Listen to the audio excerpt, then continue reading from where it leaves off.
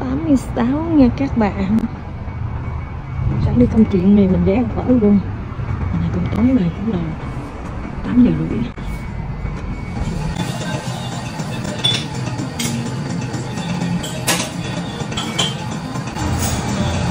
Đây. Phở ra ra có phở đặc biệt. Đặc biệt là có đủ hết được không? Thái nạm gầu gân. Ừ, Cũng được cái hả đậm gà nha, ăn cũng được lắm. Ngon. Bánh phở là mình kêu bánh phở nhỏ, bánh phở thường, bánh phở thường. Mời các bạn cùng ăn nha